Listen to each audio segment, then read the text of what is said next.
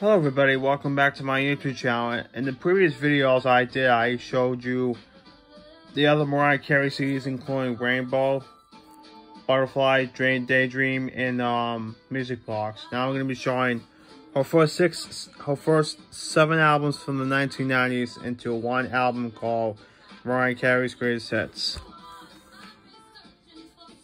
Except the last track has the bonus disc, bonus song of All I Want for Christmas Is You.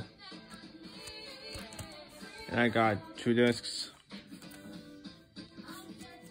This is this is the regular um jewel case version when they first print them when they first came out in 2001. I think yeah.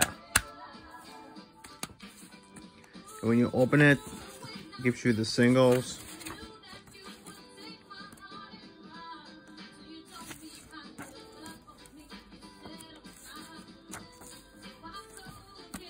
Nothing really special. It's just a greatest hits album, and there's one song of well, there's a couple of songs I forgot to mention about the other releases I showed you. So I'm gonna reveal them to you. On this one we have is Endless Love with Luther Vandross. And on disc two we have is a couple of them. We have is I Still Believe, When You Believe in Sweetheart.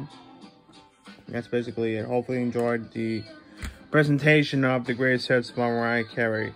In the next out next video, we're gonna see her other albums from 2002 until 2009.